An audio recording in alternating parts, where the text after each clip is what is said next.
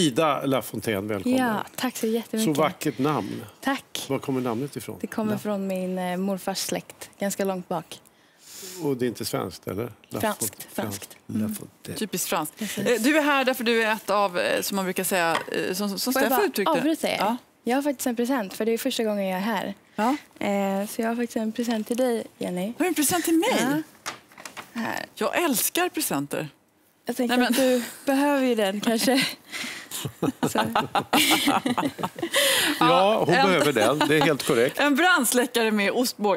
Tack snälla Ida. Det var en, jag kan säga, en välbehövlig present. Ja, jag tänkte det, att det passade dig väldigt bra. Jag borde haft mer, jag gjorde just en intervju med japansk tv. Jag känner att jag kommer aldrig bli mer känd än så här. Och, eh, ja, det här var mitt livs höjdpunkt helt Ja. enkelt. Ja, det gick ju bra. Det kommer aldrig mer hända. Det gick jättebra.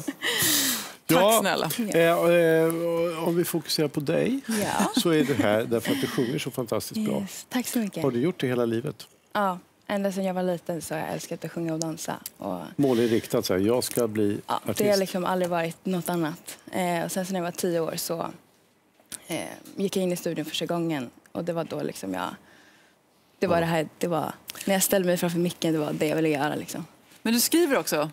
Eh, Inte så mycket just nu. Eh, jag har valt att satsa på musiken och dansen. Eh, Däremot började jag skriva och skulle absolut inte tacka, tacka nej till det i framtiden.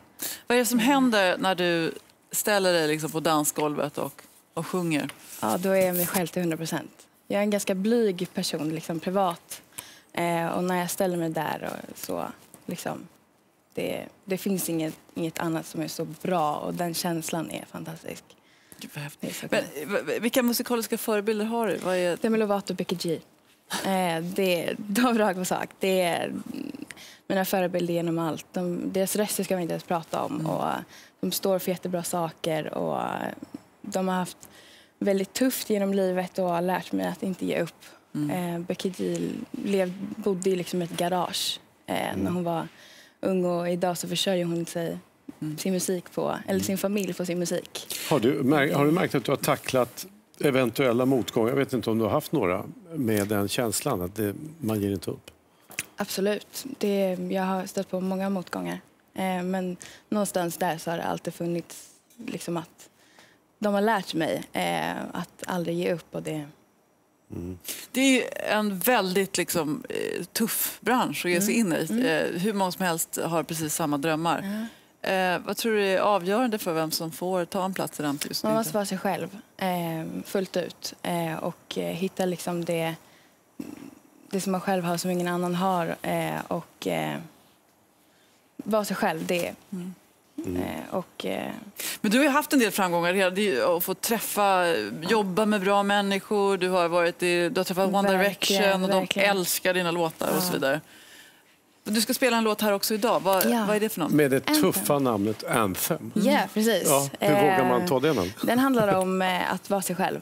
Eh, och det, det är det mycket som jag eh, eh, har varit hela livet och vill liksom, de som följer mig att man ska våga. Eh, och om du har en kompisgrupp och de vill gå vänster och du vill gå höger, då ska du gå höger.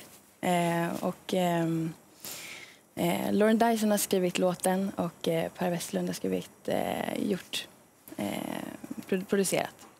Vi är jätteglada att du är här idag. Du ska framföra den här låten också alldeles strax. Jag måste bara ta Vi min eh, alla... brandsläckare och gå här tror jag. Jag tar med mig den för säkerhets skull till modet. Ja, eh, jag skulle nog eh, ställa ner den. Det finns, eh, Jämpa är lite klumpig. Det finns risk att du drar igång den där. Så ställ ner den. Du har inte köpt den här än, den är Nej, jag bara har till låns. Ida, eh, varsågod ta plats på scenen så ska vi prata med Frida Slänge om 70-talsmode. Och då sätter